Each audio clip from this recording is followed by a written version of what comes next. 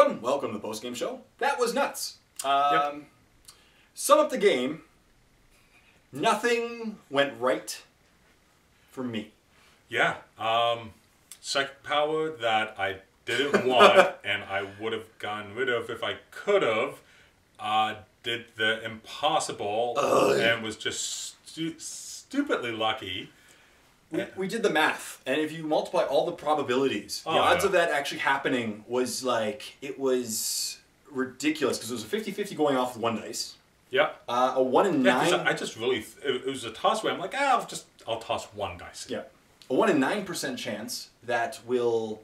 Uh, 1 in 9% chance that I'd fail, it because I'd roll a 9 or less. Yeah, and then it was, it was reasonably, reasonably, it was about uh, after that it's a three quarters chance of me Yeah. running off the table because I need to roll a six or more.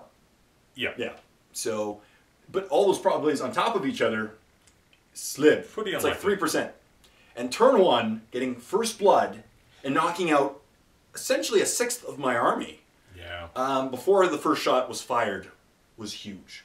Yeah. The only time I've ever had crazier thing happen was I once Deep Struggle Librarian dropped a Vortex of Doom over Ghazghkull Thraka's head and instant killed him for Slay the Warlord and First Blood in the psychic phase of my turn. Yeah. But other than that, that was cool. And then my movement phase, I was on terrain, and you're, I love the call where you're like, double ones! Why Yeah. did you say that? Why couldn't you say double sixes? So, Yeah. that was all good. Well, that and having your wraith, was it uh, twelve attacks, and you got two hits. Two hits on 12 attacks, and then uh, wh- I think I got a wound, but you passed your two up armor. It wasn't, Yeah. it wasn't a red. One or two wounds or something like that. Uh, I got my two. I did wound on my my hammer wraths, but you passed the, the armors as well. Yeah, nothing. and, and that was the attack you needed. That I needed hit, one or the, two dead. The, the, the torrent of fire to bring him down. Exactly. My my original plan was shoot up the wraiths at you, and I was hoping that I would eventually win that combat, and if so, the, I would just bounce him to the next thing, kind of thing, Yeah. and try to keep them alive because they're they're pretty survivable. And then I, on top of that, not only did I whiff, when you hit me back, I failed four to I think five, three to saves. four. I failed two instant killings and one out of two normals. Yeah. So I failed three out of four three up saves. You didn't make leadership. I did. No, no, they were fearless. Oh, fearless. They're fearless. Yeah, that's why. Um, the only leadership I passed was the one over there with the um, With the, the uh, uh, destroyers. yeah, the jet bike. But uh, yeah, that was you know what? It's one of those games. We had a great time. I loved playing it. I would play against this list against any day. I just one of those days where the dice aren't on your side, and there were a couple of inherent flaws with my list compared to the uh, with the scenario that we're playing. Yeah. Because most Maelstrom Wars, we just draw up to that number of cards, like drop to three, drop Yeah. to six, and we can jump around the table. My biggest problem was we rolled a one that we had to camp on objectives, and I only had six or seven units. yeah. So, and one of them got taken off an objective turn one psychic phase. Yeah. So I think what every round you were on two, I was on three, so I was getting you know fifty percent more cards than you every turn. Yeah. And then you know, as soon as I saw that one Dark Angel, Oh. card, I knew that was That's that, that was the nail in the coffin. Now, the only problem And with that we, card, we did actually roll for that one off camera just to see, you know, count Yeah. what if, and it's going to rolled get with eight- five, so have been three points, Yeah, six so- points on that, That the next round I was going to get eight, eight points. at least. If you're lucky, nine. Yeah. So that's why we called the game. Now the thing is, the only thing that's not broken about that one card, I argue it's the most broken card in the game, um, is what if you get it turn six? Yeah. Then you can't do it. But no, then you just get one point. you get one point. Exactly. You call the one that you're already on, Yeah. and you're in one point. The meaning that one card is so overpowered because your opponent doesn't know you have it. You don't have to do any indication that you have it, No. and uh, you can essentially, because especially in this mission or most missions in general, but this mission especially, you choose one that you have. And it doesn't look abnormal to me at all that you're Yeah. camping on an objective that you need to generate more cards in the future. Yeah. And then you automatically get two turns later three plus D3 points And I, I- don't think I've played a game with my Dark Angels yet. that you haven't gotten the card. With that card does, and I, I think there's maybe one or two in the deck, but man, they come up all the time. all the time. But my flyer didn't have the vortex.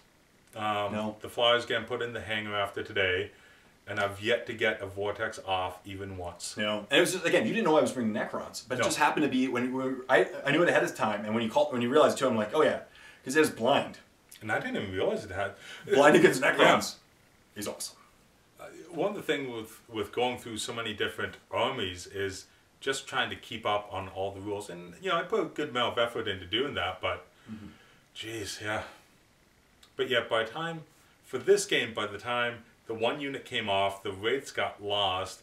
You were down to four units, one of Really? which It was uh, just a giant uh, Death Star that you could, not even a death, I wouldn't even call it a Death Star, but it was a giant squad that you can avoid. Yeah, well, even just that one squad, once it was off, you saw me just dance around and mm-hmm. stay out of range and outshoot you and pick my targets. That exactly. Nothing could have gone worse for me turn one because that was my goal was to because I had three kind of equidistant squads Yeah. that I was hoping to keep you at bay, and I my biggest worry was exactly that that you could just flank, Yeah. and once you flanked, it was I if if I rolled as bad turn one or turn two as in turn one, it would have been game.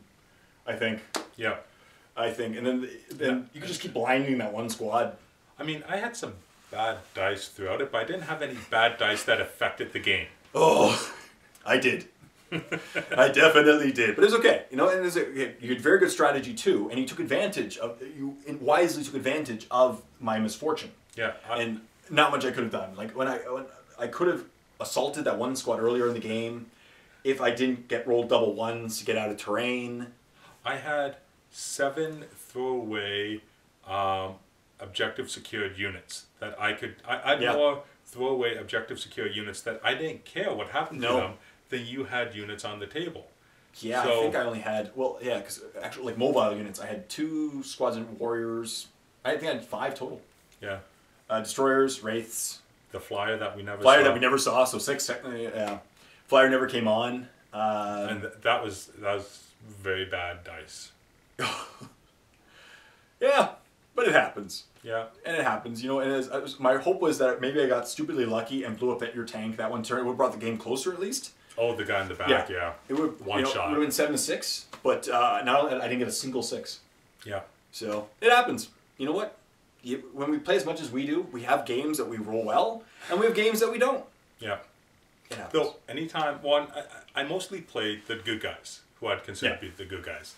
And whenever there's a good guy against the bad guy, eh, especially the Necrons, they're really bad guys. They're the, they're the zombie, the, the techno zombies. What did you do? So you, you know that you know I, my dice are just going to be that much better. They're not going to fail me against techno zombies.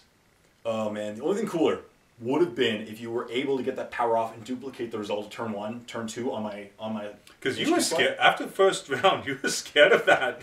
Suddenly, psychic shriek was the soft Yeah! power. Because Well, you saw that the second psychic round, the second or third. Um, you did not try to deny psychic shriek. No. you tried to deny terrify, just because it was terrifying you. only because psychic shriek in general, um, it only did it only do like on average you roll ten and a half per three dice, right? So it, Yeah. it would kill one guy maybe a turn. But think you, still have to roll to hit with that one yeah, too, right? Yeah. I think maybe yeah. That's what the bait is. Usually you do because it is a witch fire and you have to Yeah. roll to hit.